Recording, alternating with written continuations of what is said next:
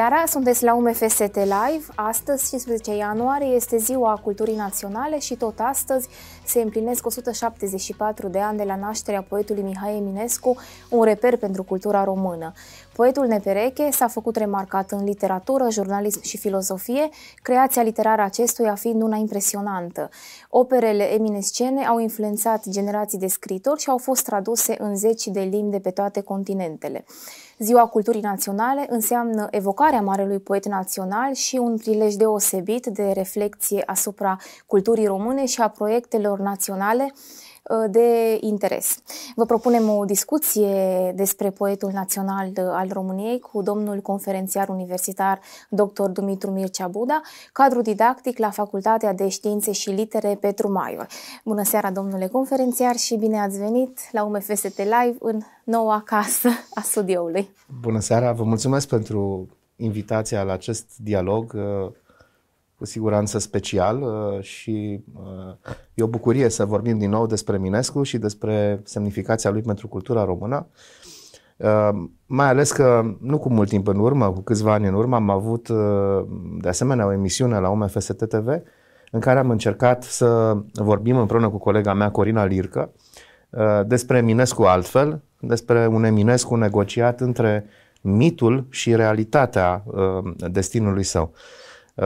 Uh, astăzi probabil că vom încerca să uh, găsim alte lucruri. Despre Eminescu mereu se pot spune lucruri noi. Aceasta e una dintre uh, proprietățile, să spunem, unui mare scriitor, că mereu reușim să, să reinterpretăm.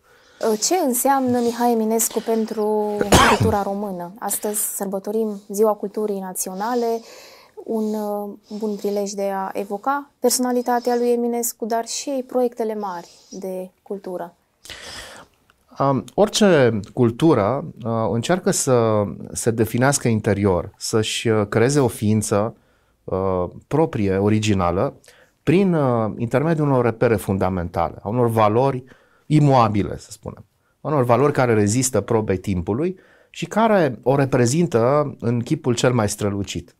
Ori, nu doar Eminescu, ci uh, majoritatea scriitorilor din generația sa, cei pe care uh, noi îi numim astăzi didactic mari clasici, uh, constituie astfel de repere.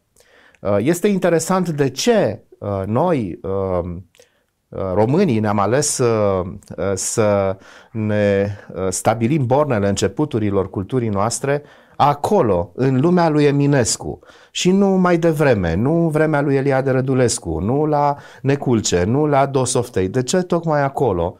Și poate că uh, înțelegând lucrul acesta, înțelegem astăzi, am putea să înțelegem astăzi mai multe despre noi înșine, despre cum am ajuns să fim uh, cei care suntem. De ce, așadar, uh, Eminescu e atât de important pentru cultura română? Pentru că el a fost mereu Uh, pus în această postură de oglindă, dacă vreți, a um, tuturor um, ambițiilor, obsesiilor, temerilor, fobiilor uh, și a soluțiilor pe care um, uh, cultural, politic, ideologic, românii le-au avut în anumite momente în trecutul lor. A fost într-adevăr și un poet uh, extrem de uh, talentat, un poet excepțional, un poet care era Uh, și rămâne și astăzi fascinant prin uh, uh, calitățile estetice ale scrisului lui. Numai că literatura nu este numai estetic. Literatura este, fără îndoială, mult mai mult decât atât. Sau, altfel spus, nu mai mult, dar nici mai puțin. Literatura este și o reflectare a societății, a unei lumi, este și ideologie, în primul rând. Și atunci, sigur, Eminescu e cu atât mai, mai incitant. Un poet tulburător de puternic, mai ales în Uh, în partea de postume, să zicem, a creației lui, descoperită începând cu Ion Negoițescu în comunism, uh, când, uh, mă rog, ne-am dat seama că de fapt studiem un poet pentru care antumele sunt doar vârful unui iceberg, iar uriașul continent îngropat sub ceea ce este vizibil, continentul acesta al postumelor e covârșitor și în același timp un om de o Um, vivacitate, de o energie și de o autenticitate extraordinară. Um, în toate aceste uh, dimensiuni, să spunem, ale, ale lui, um, românii s-au regăsit, cu bune și cu rele. Uh, și adevărul este că sunt foarte multe zone paradoxale, contradictorii, um, sunt uh, aspecte controversate nu? ale biografiei și ale opțiunilor lui, dar toate împreună cumva, cuplate, um, generează această imagine a unui Eminescu încă extrem de viu, de actual și de relevant pentru noi. Uh, mai spuneați ceva uh, despre Ziua Culturii Naționale. Și uh, mă, mă întreb uh, de ce ziua de naștere a lui Eminescu, ea însă și controversată, cum se știe, stabilită până la urmă exact. prin unanimitate de uh, voturi ale uh, eminescologilor pe 15 ianuarie, de ce ea este considerată a fi ziua culturii naționale? Și care au fost considerentele pentru care a fost aleasă această zi drept uh, ziua culturii naționale? Aș specula, gândindu-mă la faptul că ceva din lumea lui Eminescu este mereu recognoscibil în contemporaneitatea noastră că ne apropie foarte multe uh, dintre uh, elementele vieții noastre de zi cu zi, uh, ale ideologiilor contemporane de lumea lui Eminescu. Pentru că Eminescu nu este doar uh, Mihai Eminescu, poetul, filozoful, prozatorul, jurnalistul și așa mai departe. Uh, nu, el este o lume întreagă. Uh, și acea lume pe care el o reprezintă excepțional Um, are numeroase vase comunicante cu lumea noastră de azi. Limba bună oară. Gândiți-vă că totuși Eminescu, Titu Maiorescu, Caragiale, Slavici, Creangă, uh, scriu într-o română perfect um, analogă și compatibilă cu româna în care vorbim noi doi astăzi.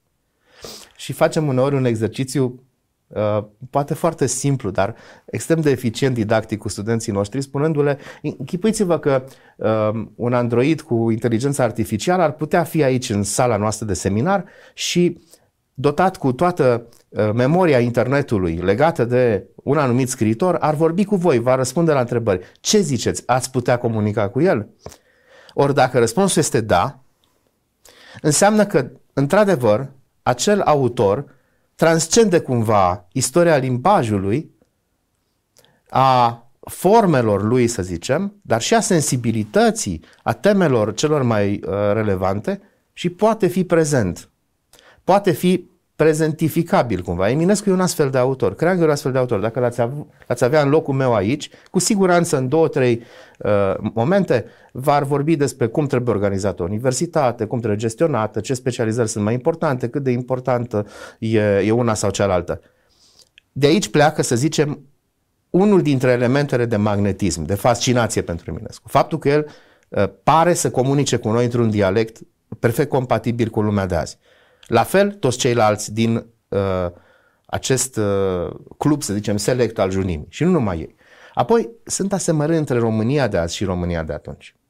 În primul rând, e o Românie a regilor. E o România lui Carol I, care, dincolo de toate, e făuritorul statului modern român și a identității noastre culturale, a lui Ferdinand, dar și a reginelor. Da?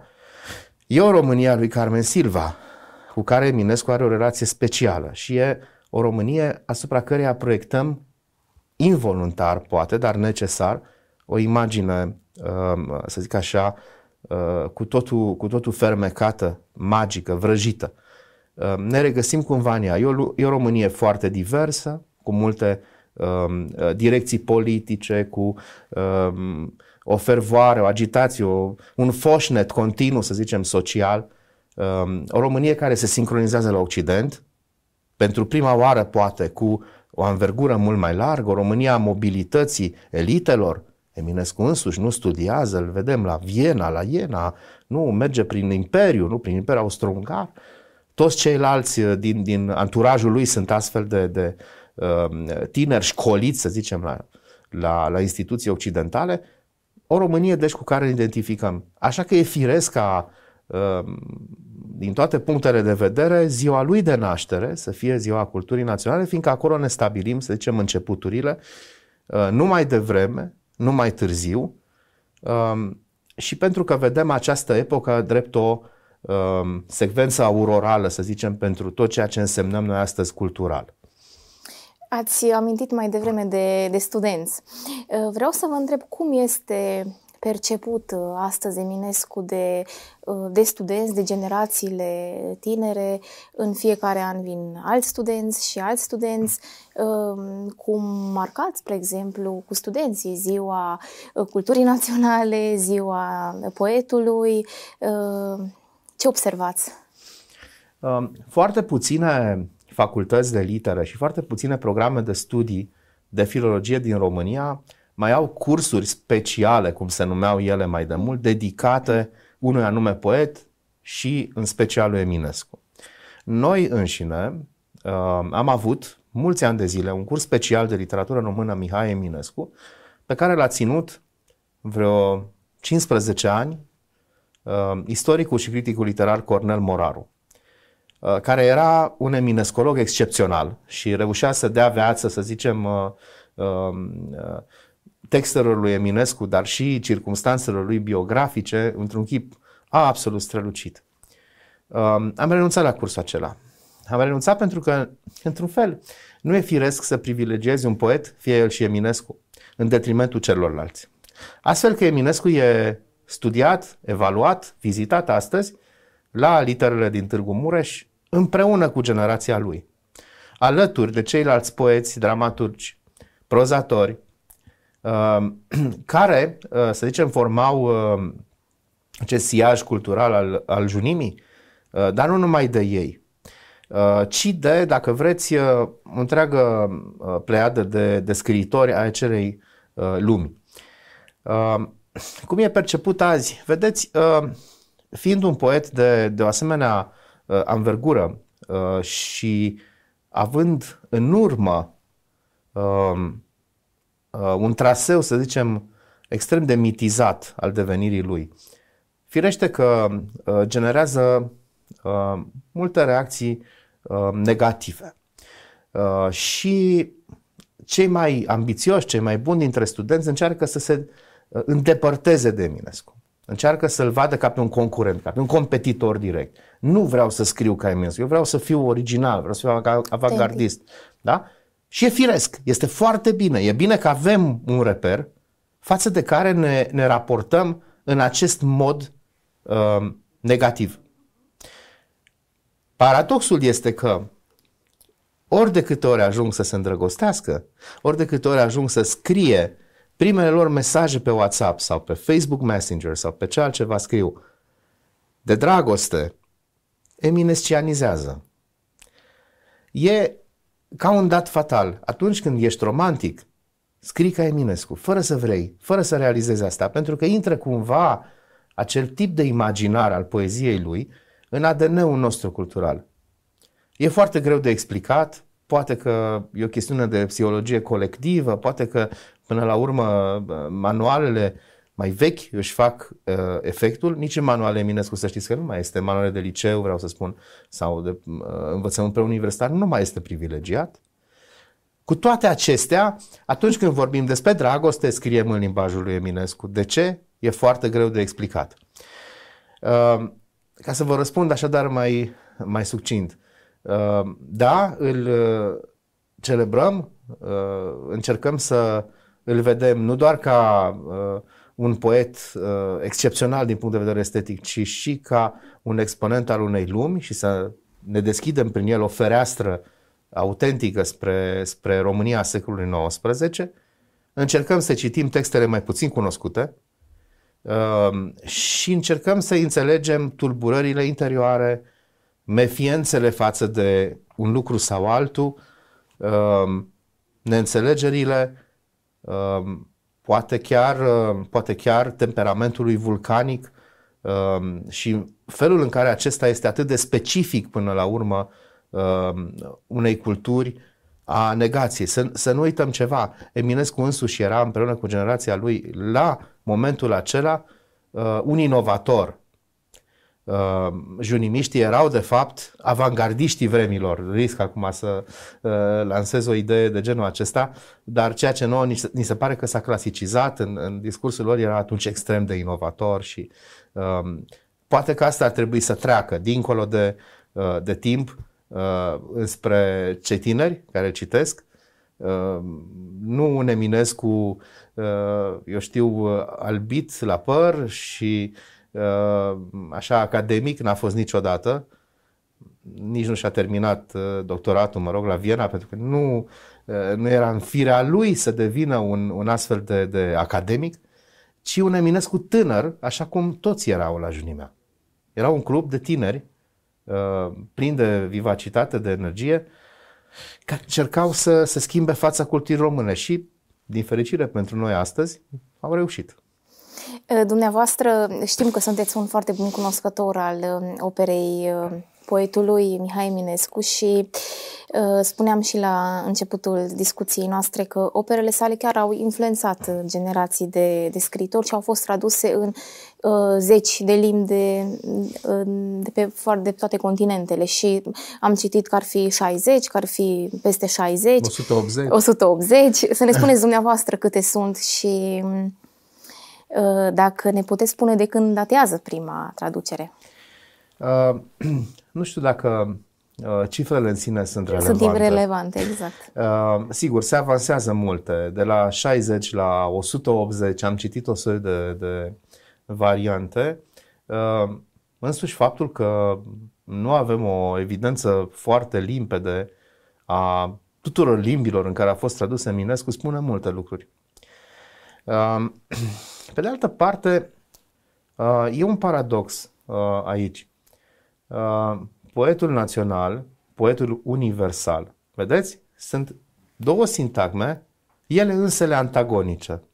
Și noi, cultura română, am operat cu ambele. Și continuăm încă să lucrăm cu ambele.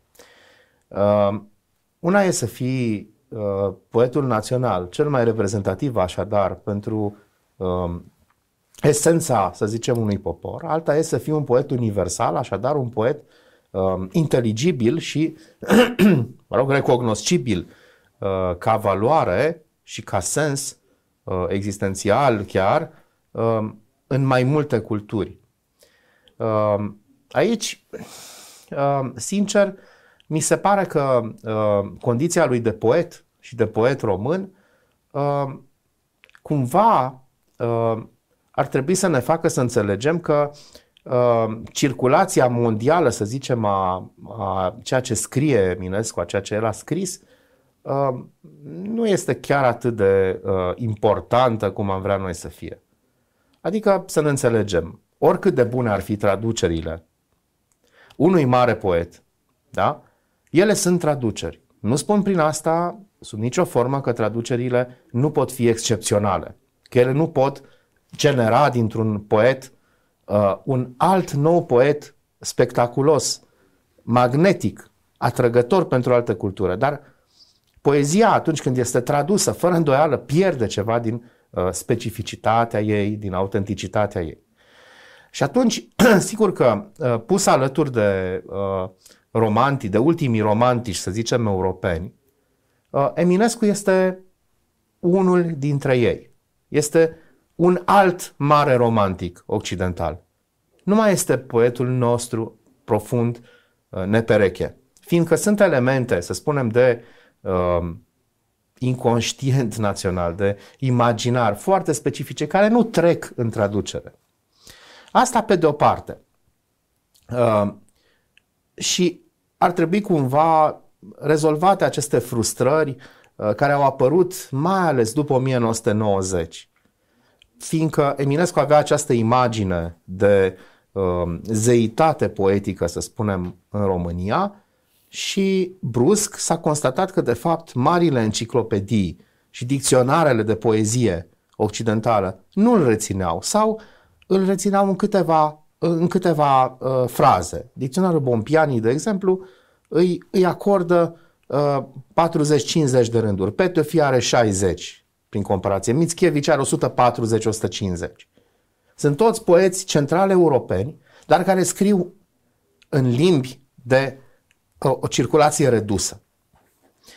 Uh, acum, ceea ce vine și cumva uh, rezolvă uh, această uh, competiție, să zicem, între culturile uh, marginale, între culturile periferice și culturile centrale um, este, de pildă, conceptul lui Pascal Casanova, nu? A Republicii Mondiale a Literelor. Dar sunt și alți teoreticieni, David Damrosch, de exemplu, Franco Moretti, nu? Um, aceste teorii care apar pe uh, finele secolului 20 și în primele decenii ale secolului 21 vorbesc despre uh, mondialitatea literaturii, uh, despre un tărâm care nu ține de fapt cont de uh, limbă, în primul rând, de limba națională și de uh, etnie și uh, de specificul, uh, să zicem, geografic al unei culturi, uh, ci despre uh, ceea ce face ca uh, scrisul unui autor să fie uh, universal și să fie, uh, eu știu, exportabil la nivel mondial.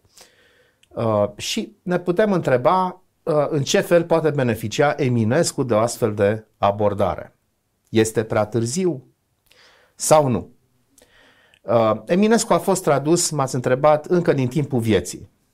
Uh, Mite Kremnis, de exemplu, l-a tradus. Carmen Silva l-a tradus. Prima traducere uh, este în spațiu maghiar, Iosef Șandor, uh, care îi traduce poeziile de tinerețe. El însuși s-a preocupat să fie bine uh, perceput și uh, uh, ca opera lui să fie tradusă uh, cât mai eficient. Uh, după care încep să apară antologii și undeva pe finele secolului XIX avem și două teze de doctorat despre Eminescu apărute în Europa. Nu, uh, să zicem, nu are uh, un deficit, să zicem, de receptare. Uh, cu toate acestea, mereu noi românii avem acest sentiment al unui decalaj incalificabil. Pentru noi este de neînțeles cum Eminescu, de exemplu, nu apare în canonul occidental al lui Harold Bloom.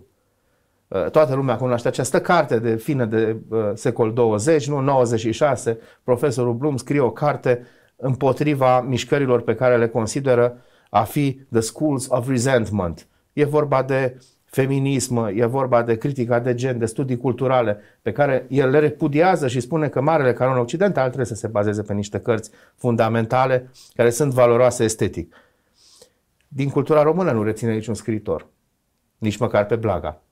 E, a, acest tip de frustrare cumva uh, trebuie Uh, să zic așa, depășită. Eminescu este marele poet pe care îl cunoaștem, este fără îndoială uh, unul dintre mari scriitori care uh, continuă să comunice într-un chip extrem de uh, autentic cu noi astăzi. Uh, nu cred că există uh, tânăr care nu are o carte de poezie a lui Eminescu în casă. Uh, nu cred că există cineva care nu îi recunoaște chipul. Avem aici o reprezentare foarte frumoasă uh, a lui Eminescu. Este nu prima imagine din cele cinci pe care uh, le, le reține, să zicem, imaginarul nostru. Uh, Eminescu este subiect de uh, roman, film, teatru. Uh, este de fapt uh, până la urmă o parte din, din identitatea noastră și asta poate contează mult mai mult decât ce ar putea să-l facă azi uh, un, uh, un, un autor de succes în, în Occident. Asta voiam să vă întreb și atunci, care este relevanța lui în literatura mondială?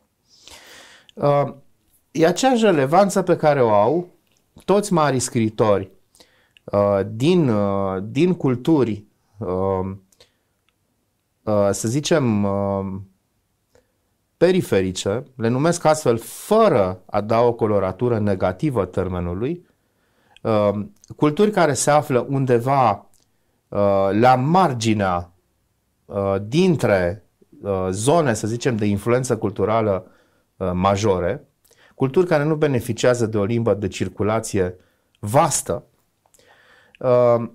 în sensul în care dacă cineva dorește să afle care este specificul poeziei românești uh, și acel cineva, nu știu, este american, este uh, elvețian, este japonez, e vietnamez, uh, imediat va găsi în uh, universul nostru conectat o referință la Eminescu și va citi o traducere în limba sa din Eminescu. Dincolo de toate limitele acelei traduceri și conștient de acea traducere, de, de limitele ei și de uh, faptul că uh, ea nu-i va livra de fapt un Eminescu autentic, ci un Eminescu reinterpretat, persoana respectivă va avea cea mai limpede, cea mai uh, profundă reprezentare despre ceea ce înseamnă România cultural, despre ceea ce înseamnă geniul acelui popor, da? Și puterea, puterea sa culturală, puterea sa de a genera lumi, de a se reprezenta și de a, uh, de a se muta, să zicem, într-un univers um, aparte, într-un cosmos aparte al literaturii. Aici e, dacă vreți, uh, forța oricărui mare scriitor um, pe care o cultură și îl arogă drept scriitor reprezentativ. Um, cu, repet, cu limitele implicite și cu, um, dar, dar în același timp și cu, să zicem, avantajele extraordinare pe care traducerile le oferă. Sigur, poate că opera lui Eminescu ar trebui retradusă. Poate că ar fi oricând uh, viabilă o reeditare în engleză. Dar odată cu mari scriitori, poate că ar trebui exportate și ideile criticii noastre literare și istoriile noastre literare și felul în care ne vedem și ne interpretăm, ne interpretăm noi înșine literatura, fiindcă acolo cred că suntem deficitari. Degeaba vii și prezinți, uh, uh, nu știu, uh, americanului astăzi uh, un uh, volum de Eminescu tradus într-o uh, engleză impecabilă, cu irizații din româna de atunci, cu tot felul de analogii, dacă tu nu-i oferi și un aparat teoretic prin care să-l poată uh, situa pe Eminescu într-un context istoric. Acolo suntem deficitari. Nu știu cum se poate face asta. Vorbeați de proiecte naționale. Poate că trebuie să facem asta și să începem să ne livrăm spre Occident nu numai scriitorii, dar și artiștii, nu știu, sculptorii, pictorii, arhitecții, politicienii cu idei excepționale, dar contextualizați, explicați, fiindcă al minteri ă, totul este e în van. Revenind la, la cultură, la Ziua Culturii Naționale, am tot văzut astăzi că s-au organizat diferite evenimente um, culturale, expoziții, tururi ghidate, spectacole de teatru. Ehm, cu ce gânduri, cu ce mesaj ar trebui să încheiem? Iată, noi suntem la ora 8 când difuzăm această emisiune. Cu ce gânduri trebuie să încheiem această zi a culturii naționale? Până la următoarea. Um, cred că uh, cu toții resimțim uh, o avalanșă de uh, discursuri uh, semi-para anticulturale pretutindeni. Ceea ce se prezintă drept cultura uh, majoră astăzi, de cele mai multe ori, uh, e un atentat, de fapt, la uh, ceea ce uh, este cultura autentică. Poate că uh, mesajul, dacă nu sună prea prețios, ar fi haideți să recitim uh, mari scritori. Nu neapărat pe Eminescu, haideți să, să recitim scritorii care într-adevăr contează. Uh, și să nu ne mai fie teamă de ei. Uh, una dintre marile probleme este că, fiind atât de osificați de canonul didactic, uh, Eminescu, Sadoveanu, Rebreanu chiar, par intangibili, par undeva pe un pedestal de care nu ne putem apropia. Adică e ca și când ar trebui să facem tot soiul de incantații, de ritualuri ca să devenim din neofiți inițiați și apoi să avem dreptul să citim. Nu e adevărat. Nu e adevărat. Trebuie să înțelegem că pe Eminescu îl putem citi întotdeauna ca pe un scriitor de azi, ca pe un contemporan. Știți, Ian Cot a avut o carte teribilă, Shakespeare Our Contemporary, undeva în anii 70, sper să nu mă înșel. Eugen Simeon a încercat la noi același lucru în dimineața poeților. Ideea acestor critici literari era să aducă în prezent un scriitor, să-l facă contemporan. Așa ar trebui citit Eminescu. Așadar, mesajul acesta ar fi, um, dacă vrem într-adevăr să Nu ne lăsăm asediați de impostură, de false valori, de uh, capriciile acestea uh, seducătoare, dar atât de efemere până la urmă ale uh, lumii rețelelor de socializare, de influenceri care în fond sunt goi în interior, sunt forme fără fond, cum spunea nu, prietenul lui Eminescu, Titu Maiorescu. Atunci uh, avem la îndemână ceva atât de simplu accesibil. Cărțile scriitorilor autentici. De data aceasta, într-un astfel de demers, valoarea lor devine imediat uh, uh, funcțională uh, și ei ne pot ajuta până la urmă inclusiv să disociem între ceea ce este autentic și ceea ce este fals.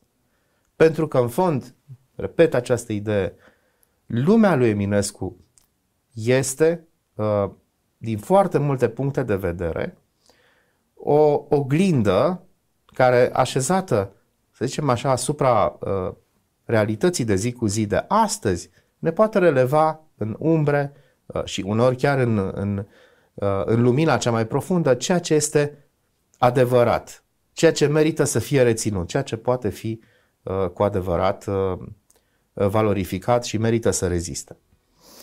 Domnule conferențiar, mulțumim pentru această discuție frumoasă și interesantă pe care am purtat-o uh, cu ocazia Zilei Culturii Naționale. Vă mulțumim pentru prezența în emisiune și uh, să ne revedem și la anul, de ce nu? Vă mulțumesc și eu. Vă mulțumim și celor care ne-ați urmărit. Până la următoarea ediție, toate cele bune, la revedere!